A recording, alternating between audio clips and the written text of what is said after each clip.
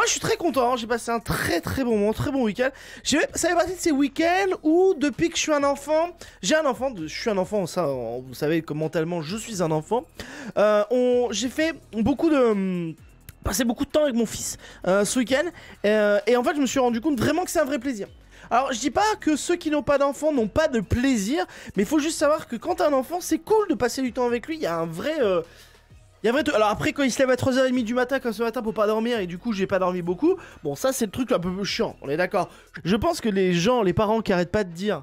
Euh, qui arrêtent pas de dire non mais tu peux pas comprendre t'as pas d'enfant il faut faire des enfants mais je pense que c'est juste des gens qui, qui disent rien aux autres parce que c'est un enfer d'avoir un enfant avoir des enfants c'est quand même très compliqué quand même il y a des trucs cool mais c'est quand même hyper compliqué et, euh, et en fait je pense qu'ils veulent pas te le dire tu sais parce qu'ils veulent que t'en chies aussi c'est comme quelqu'un qui a mal mangé au restaurant tu sais qui a vraiment souffert, qui a une énorme diarrhée après avoir bouffé des, des pâtes, et comme il a, envie de se venger sur d'autres personnes que lui parce qu'il il pense que c'est une. euh, voilà, il va dire aux gens allez au restaurant pour être bien bien malade. Tu vois je vais bientôt faire une scène, mes fabuleuses histoires, parce que j'adore aller au parc avec mon fils.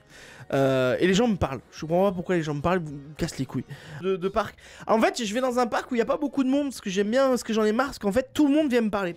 C'est un truc de ouf. J'ai mes écouteurs quand je suis avec mon fils, parce que j'écoute des podcasts pendant que je m'occupe de lui, tu vois, je lui parle, mais comme il me parle pas, de toute façon, j'ai pas besoin d'avoir. un- bref. Et, euh, et les gens viennent me parler. Pourtant, j'ai les écouteurs, tu vois. Genre, quand t'as quelqu'un qui a les écouteurs, tu viens pas lui parler. Tu lui dis, euh, tu, tu, lui dis, bah, salut, t'as des écouteurs, j'ai envie de trucs à te dire, tout ça, machin. Mais lâche ta affaire, tu vois. Et, euh, et donc voilà, les gens, euh, ils font, alors il s'appelle comment? Je fais William. Et je pose, et tu sais, il y a un moment de pause comme ça. Parce que moi, je vais pas lui répondre. Genre, je vais pas lui dire, il s'appelle comment le tien. Euh, et du coup, je suis là. Et donc le mec me regarde, il fait. Alors moi, c'est euh, Églantine. Oui, parce qu'on est à Paris. hein. on, est, à Paris, donc c'est Églantine. Euh, moi, c'est Églantine. Et, euh, et du coup, elle a dit moi.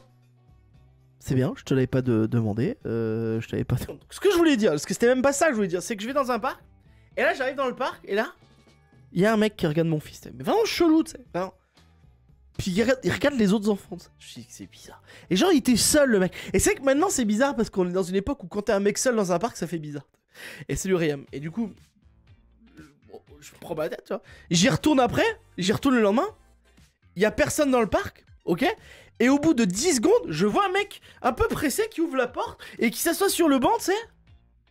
C'est le même. Je mais. Un pédophile, quoi. C'est. Le mec qui vient regarder. Ouf, hein Ouf, hein Ouf, ouf, ouf.